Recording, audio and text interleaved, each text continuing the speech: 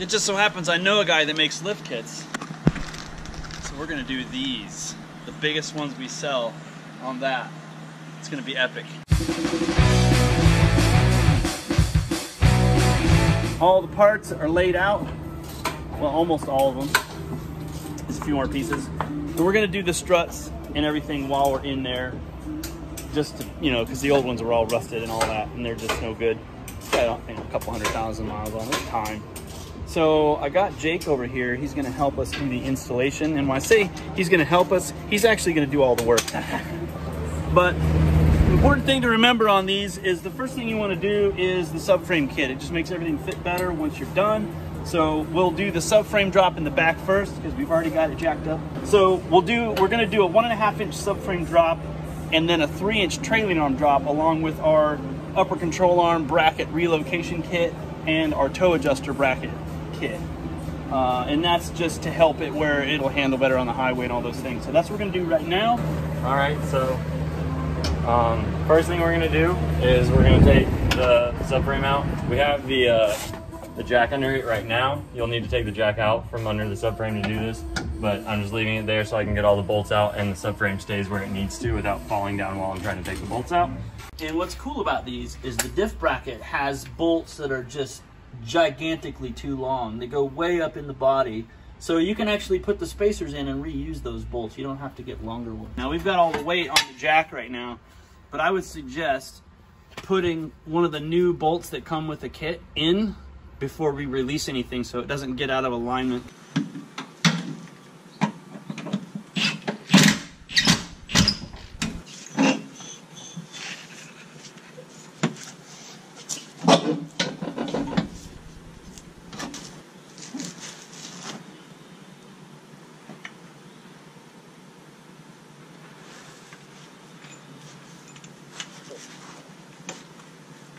See if I respond. No, the roof basket? Yeah.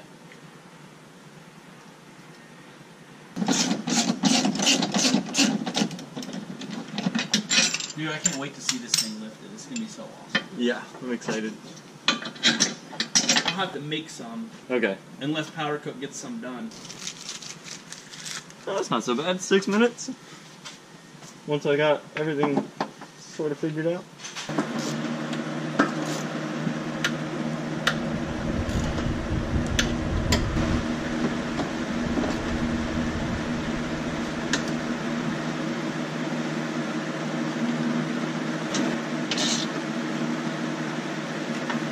Just like that, you got your one and a half inch rear subframe drop completed.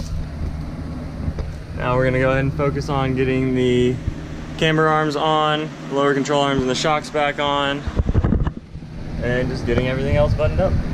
So now that we have the rear subframe spaced down one and a half inches, we're gonna go ahead and remove the brake line bracket to move it from being bolted down here. We're gonna drill a hole right up here and bolt it in right there so the brake lines on the rear don't get stressed out to the point where they'll break.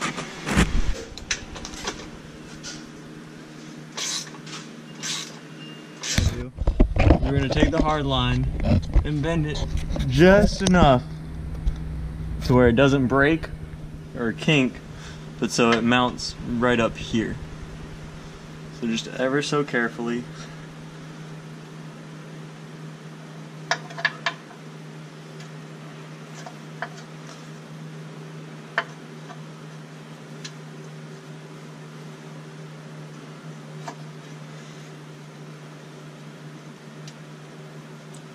And that should do it. Now just go ahead and mark where your hole needs to be at and go ahead and drill it.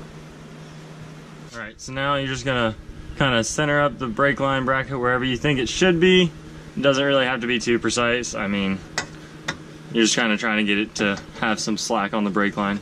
So mine lines up pretty much right about there. So just go ahead and drill your hole.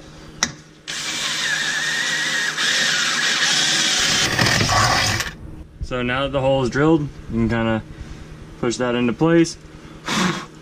Get all your metal shavings out of the way. And then just thread your bolt back into it. One bolt would be more than good enough to hold that in place. You can do two. Um, but for this application, there's not really enough room to get both bolt holes lined up. So one will be more than secure. And then just repeat the process for the other side, and you'll have more than enough slack for as much lift as you can need. Also, don't forget to bolt in your e-brake cable back after you've relocated your brake lines. All right, so now we're gonna work on getting the three inch trailing arm spacers installed. So the way I like to do it is take out your trailing arm bolt and replace it with the longer ones. That way everything stays centered up. And then you'll take the other one out, should fall down into place. You can slide your spacer in and then put the other bolt back in. Ooh. Yeah, that trailing arm bushing has had it. It's gone. Get that thing out of the way. That just gives it more flex, actually, just having it, uh, you know, come apart like that. It's, it's really ideal for our situation. Oh yeah.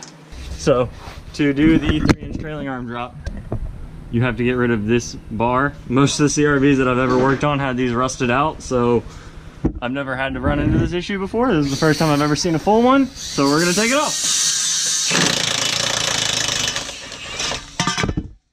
Just like that. Go ahead and break the uh, bolts loose for the uh, toe adjustment.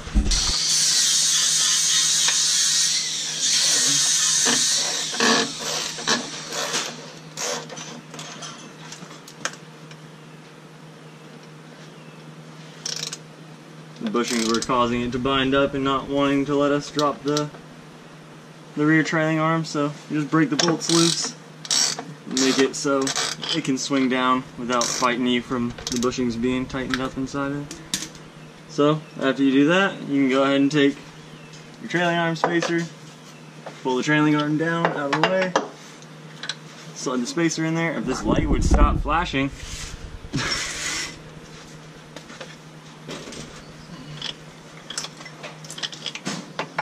and you take your other trailing arm spacer, slide it in the other side.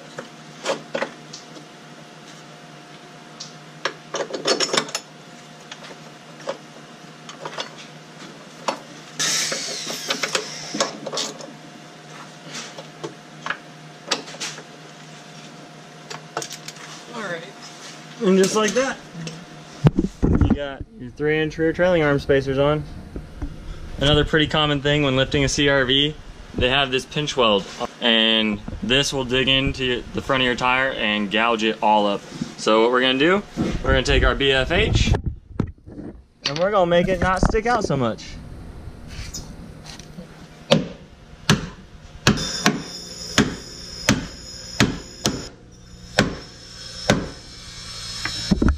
And just like that, you got lots more clearance. So now that we have the trailing arm spacers on and the subframe spacers on, we're gonna start to focus on the rear camber arm and the camber arm relocation bracket. The reason that we do this is once you lift the car past four inches, well, really three and a half, um, the rear arms get out of alignment because the lower control arm will be dropped with the subframe and the, uh, the trailing arm gets dropped. But this gets stressed down and far forward, causing the car to wobble really bad whenever you hit a bump on the highway. So to correct that, we take this arm and we bolt it in right here and it levels out the upper control arm so the mount will go from there straight to there without any down and forward travel like it is right now. Since there isn't much really supporting the rear trailing arm right now, I went ahead and threw a jack stand underneath it. So we ran out of space on the memory card, so I got a few more things done off camera. We got the shock and the lower control arm mounted up on the passenger side, still not bolted up to the uh, the trailing arm, but we went ahead and drilled the hole for the, uh, the camber arm relocation bracket right there. And now we're just gonna go ahead and get the bolt in and get this all finalized. Now we have the uh, camber arm relocation bracket on the passenger side, and we're gonna go ahead and put the camber arm in.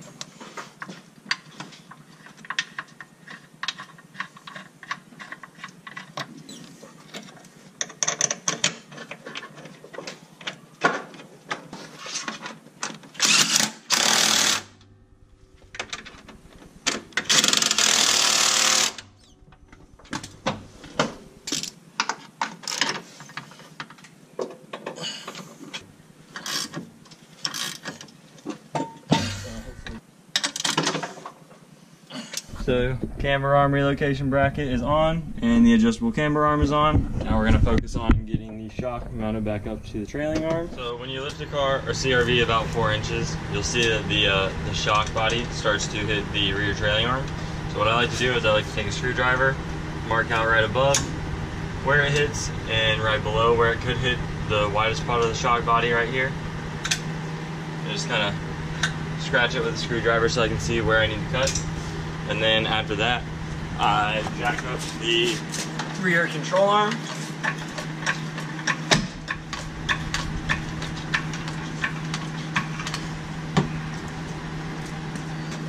And then I take off the rear upper camber arm.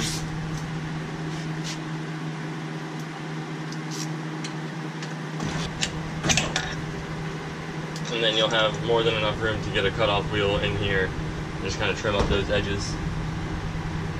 So you're just going to take your cutoff wheel, find the marks that you made, and just kind of cut in along those.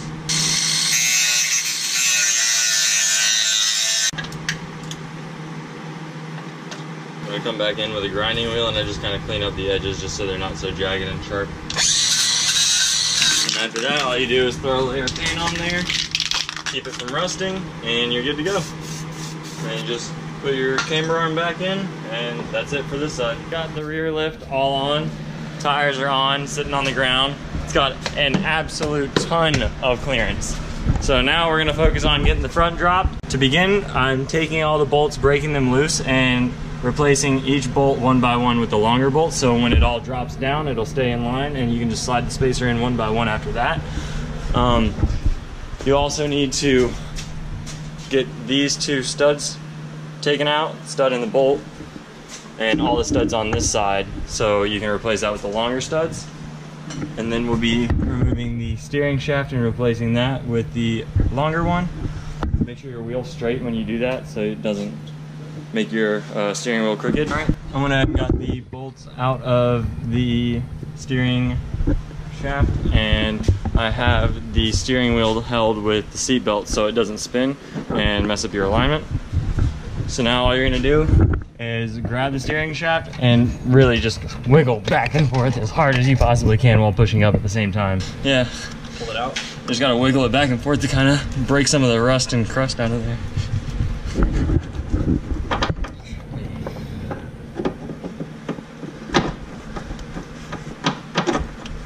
And just like that, now the steering shaft's out of the way, you can continue on just removing each bolt and replacing it with the longer bolt so the subframe just falls all down all at once and stays lined up. And then you go back behind yourself, take each bolt out individually, slide your spacer, and then tighten it up.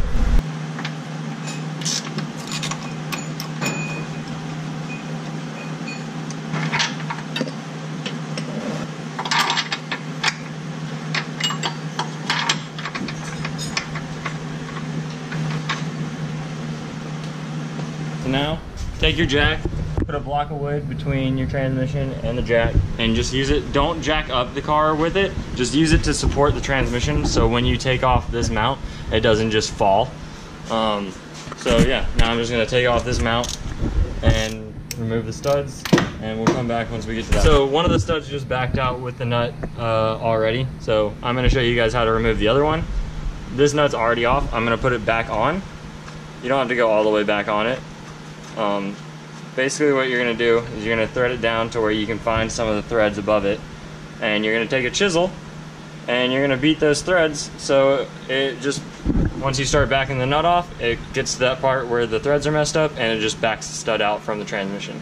So I'm going to take a chisel and a hammer and I'm going to beat in those threads real quick and I'll show you what it looks like after I'm done. Now the threads have been smacked with a hammer and a chisel a couple of times so you should be able to just take your 17 millimeter ratchet and just back it off.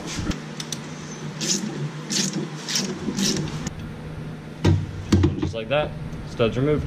Normally you would replace these with longer studs, but we're gonna replace them with bolts just for our application.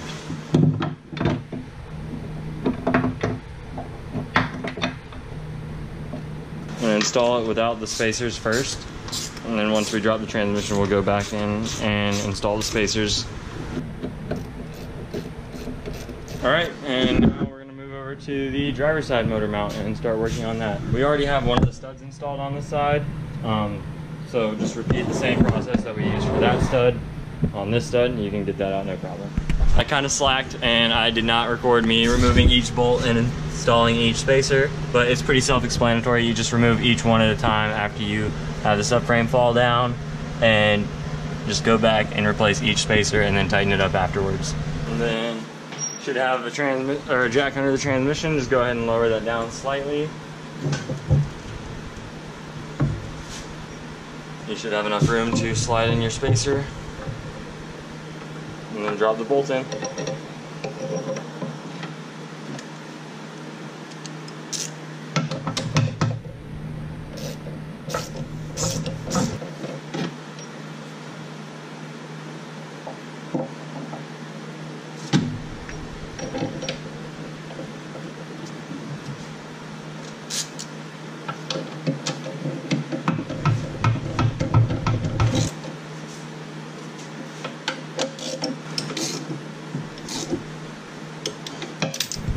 Your spacers are in, bolts are tightened down. Just repeat the process for the driver's side, same exact idea. And then after we do that, we'll go ahead and do the uh, steering shaft. Now that the subframe's dropped and engine's dropped, our car didn't have torque mounts to begin with, so we're gonna be installing some torque mounts with the H spacers that come with the kit. So we'll go ahead and throw those on real quick.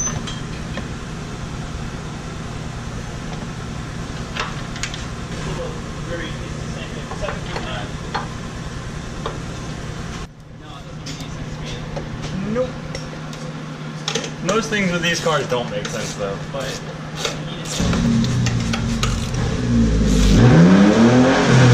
yeah,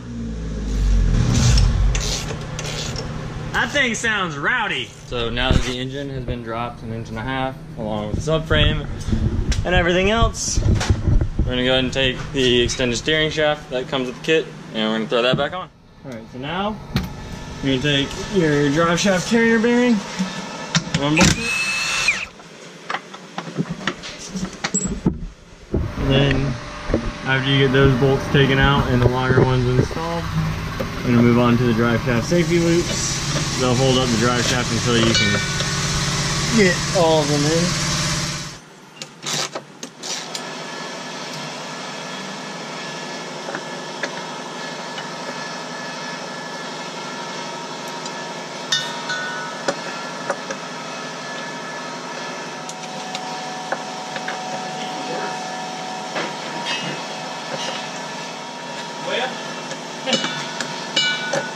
Same process for that drive shaft safety loop right here.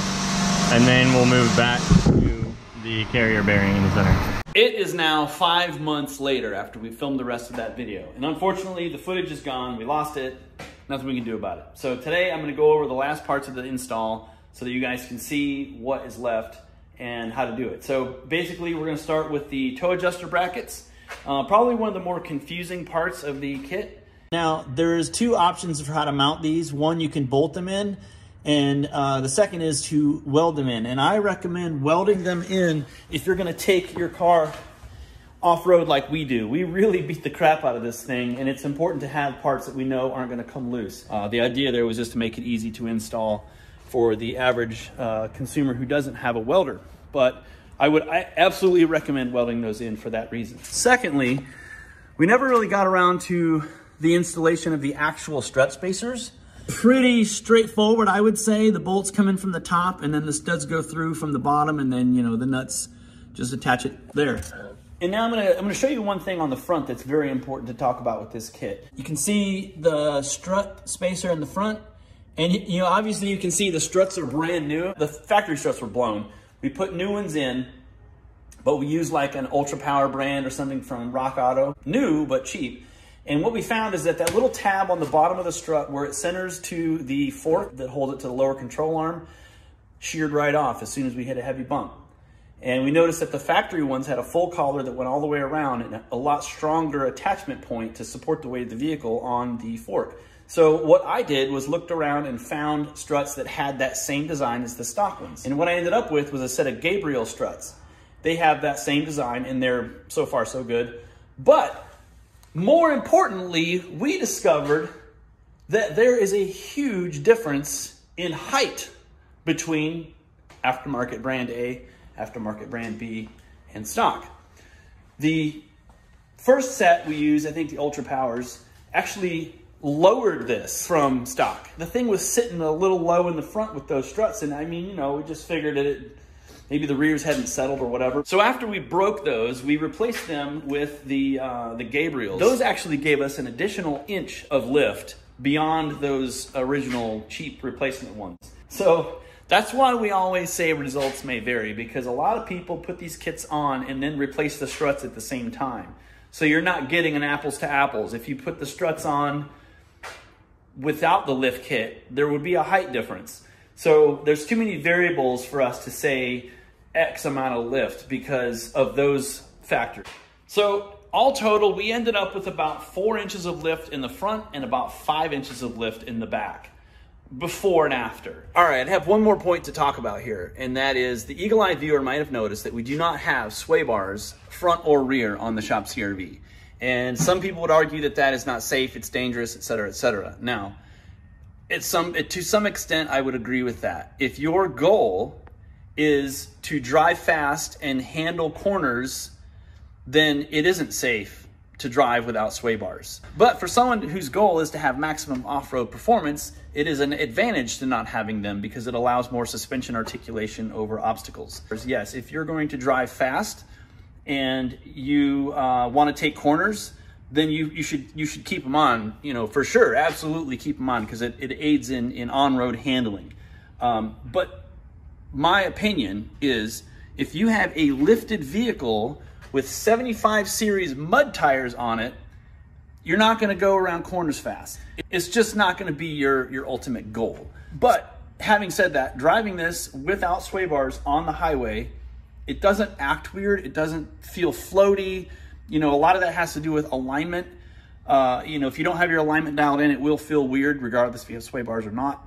But this thing drives great. I have no complaints. In fact, the War Wagon hasn't had sway bars on it since 2015, and I've driven that thing thousands of miles across the country and through canyons and everywhere you can imagine, and it's never had an issue with handling without the sway bars. And I would also point out that there are several Honda Civic models that did not come with sway bars from the factory. So they're not a necessary thing for um, everyday use. But as I said before, if your goal is to handle corners really fast, uh, well, first of all, you shouldn't be lifting your vehicle. But secondly, you definitely want to keep your sway bars on. So that's just an explanation of the whole sway bar debate. And, um, you know, obviously you guys have to use your own judgment on that. But my opinion is that they're not necessary if you're going to go off road. It just helps with um, off road articulation. So that's pretty much it, guys. Um, I think we covered everything on the Shop CRV install. And uh, obviously, if you guys want this kit, it's hrgengineering.com. You can call us. It's 844-HRG-LIFT or email us at sales at hrgengineering.com. So with that said, guys, I really appreciate you watching to the end and listening to me talk. It's a lot of fun making these videos, and I'm sorry it took five months to finish this one, but uh, I'll see you in the next one.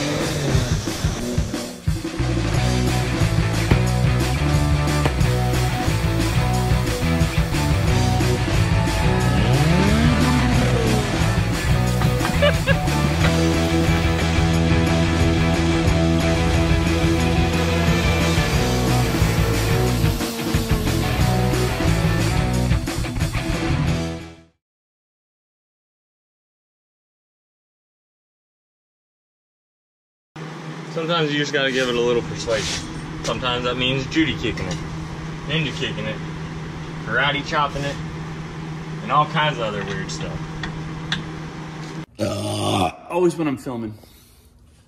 Always when I'm filming. Uh.